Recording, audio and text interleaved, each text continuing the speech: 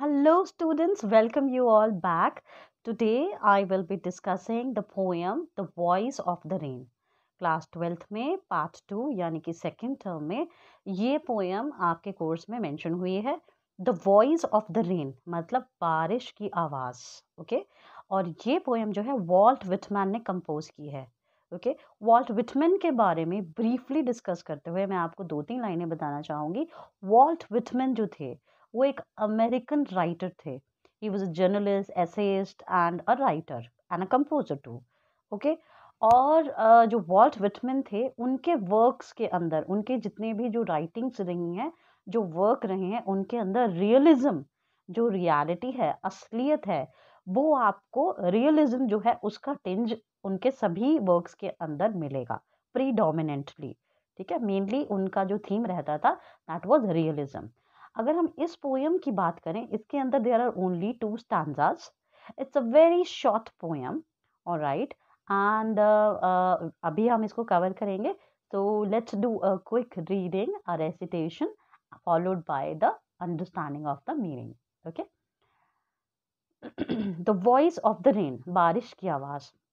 तो अगर आपसे पूछे बारिश की आवाज़ कैसी होती है?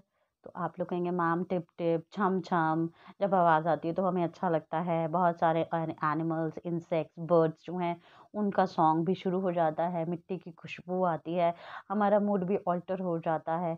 तो बारिश की आवाज़ जो छप छप और टिम टिम और छम छम होती है वो हमसे क्या कहती है? ठीक है? तो लेट्स लेट्स रीड इट कि वॉल्ट विटमिन की नज़र से उनके उनकी पर्सपेक्टिव में आ, बारिश की आवाज़ क्या कह रही है? And who art thou? said I to the soft falling shower. मैंने बारिश से पूछा कि तुम कौन हो? ठीक है? ये this is old English so thou here is you soft falling shower जो धीमे धीमे से, मध्यम मध्यम से जो शावर हो रही थी, जो बारिश की बूंदे गिर रही थी, मैंने उनसे पूछा कि तुम कौन हो? Which strange to tell gave me an answer जो कि बहुत अजीब था, लेकिन उन्होंने मुझे आंसर किया। उन बारिश की बूंदों ने मुझे आंसर किया एज हेयर ट्रांसलेटेड जो कि मैं यहाँ ट्रांसलेट कर रहा हूँ। I am the poem of earth मैं धरती की कविता हूँ पोएम हूँ। Said the voice of the rain तो बारिश की आवाज़ ने कहा, मैं धरती की कविता हूँ, मैं धरती का संगीत हूँ। Eternal I rise impalpable out of the land and the bottomless sea बोलती है कि मैं इटर्नल मतलब हमेशा। मैं हमेशा ही ऊपर उठती हूँ और मैं धरती से उठ करके ऐसे समुद्र से उठकर जिसका तला ना हो बॉटमलेस जिसका कोई एंड ना हो वहाँ से उठ के मैं आ, आसमान में जाती हूँ I rise okay upward to heaven कहाँ जाती हूँ? हेवन की तरफ़ जाती हूँ स्वर्ग की तरफ़ जाती हूँ मतलब ऊपर up there in the sky we whence vaguely formed all together changed and yet the same. वहाँ मेरी जो शेप है मेरी शेप और फॉर्म टोटली चेंज हो जाती है और फिर भी मैं वही की वही रहती हूँ ठीक है? मतलब धरती से पानी जो है समुद्र के अंदर वो भाप बना इवेपोरेट हुआ वेपर्स की फॉर्म ली आ, वो हेवन में गया इट गेट्स कंडेंस वो ठंडा हो गया वो बादल बन गया और फिर से पानी बनकर वापस धरती पर बरस गया when it is too hot okay when the season changes तो बारिश होती है। तो बोलती है कि मेरे कई रूप चेंज हुए my vaguely form change and yet the same और फिर भी मेरी जो शेप रहती है फॉर्म रहती है वो सेम ही रहती है। पानी बनकर गई थी और पानी बनकर लौट आई लेकिन बीच में कई बार शेप चेंज हुई। ओके तो ये वॉइस ऑफ़ द रेन है।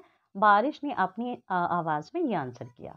So let's go to the second stanza I descend to lave the drouths atomies, dust layers of the globe, and all that in them without me were seeds only, latent, unborn.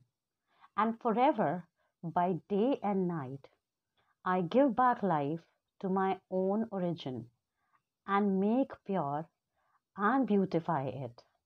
For song issuing from its birthplace after fulfillment, wandering, wrecked or unwrecked, duly with love returns. Okay? तो बारिश की आवाज़ उसके बाद क्या कहती है कि उसके, मैं उसके बाद जो है,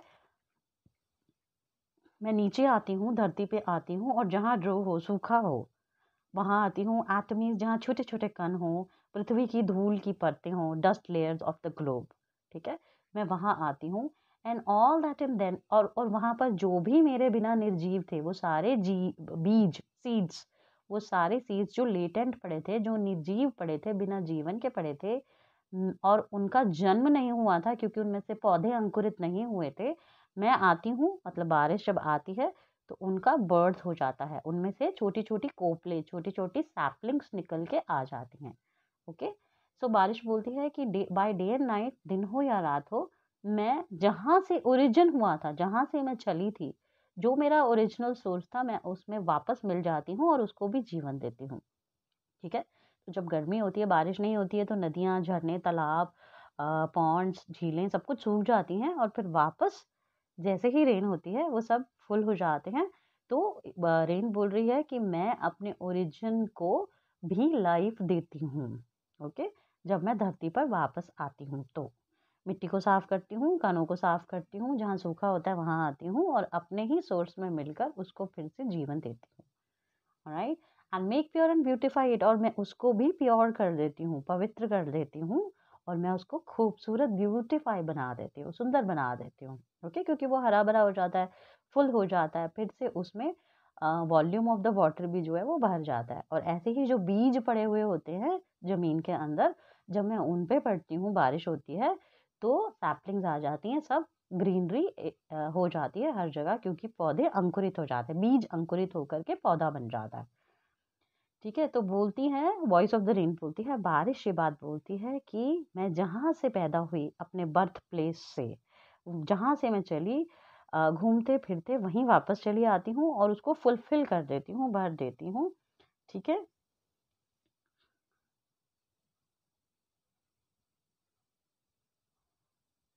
ड्यूली विद लव रिटर्न्स और जब मैं वापस आती हूँ तो मैं प्यार से वापस आती हूँ धरती पर और हर चीज़ को फिर से हरा भरा शुद्ध एंड ब्यूटिफाई कर देती हूँ। So here the poem ends यहाँ पर ये पोएम ख़त्म हो जाती है।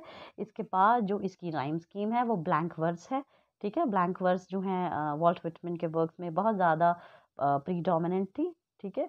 क्योंकि इसके अंदर कोई भी राइमिंग वर्ड्स जो हैं टुवर्ड्स द एंड आपको नहीं मिलते हैं so it's the blank words और इसके अंदर क्वेश्चन आंसर जो है we will discuss in the next slide और इन द नेक्स्ट वीडियो इसमें सिर्फ़ ये ध्यान देंगे कि दो ही आवाज़ें हैं. One is of the poet जो कि पूछते हैं सवाल and the other voice is the voice of the rain जो कि आंसर करती है question of the poem okay so that's it आज के लिए इतना ही. मिलते हैं अपनी नेक्स्ट वीडियो में will all the question and the discussion of the answer thank you have a good day stay healthy stay safe goodbye